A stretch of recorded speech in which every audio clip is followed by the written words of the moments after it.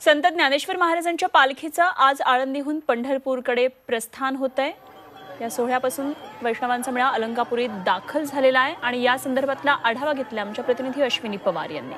महाराजांच्या पालखीच्या प्रस्थान सोहळ्याला अवघे काही तासच उरलेले आहेत आणि अलंकापुरी हरिनामाच्या गजरामध्ये दुमदुमून गेलेली आहे. इंद्रायणीच्या काठावरती आता मी आहे आणि या ठिकाणी आपण बघू शकतो. दिंड्यांची जी नगर प्रदक्षिणा आहे ती या ठिकाणी सुरू आहे. आणि या हे वारकरी वेगवेगळे खेळ खेळताना दिसत आहेत. मग त्याच्यामध्ये पावली असेल फुगडी असेल राधाकृष्ण राधाकृष्ण असेल असे वेगवेगळे खेळ जे आहेत हे वारकरी खेळताना दिसत आहेत. जरी आता पाऊस पाऊस नसला तरी या वारकऱ्यांच्या भक्तिभावामध्ये कुठेही कमतरता नाहीये. यावर्षी वारीला गर्दी कमी असं म्हटलं जातं. मात्र कालपासूनच पुण्यामध्ये आणि राज्याच्या अनेक भागांमध्ये पाऊस दाखल झालेला आहे. त्याचा उत्साह कुठेतरी या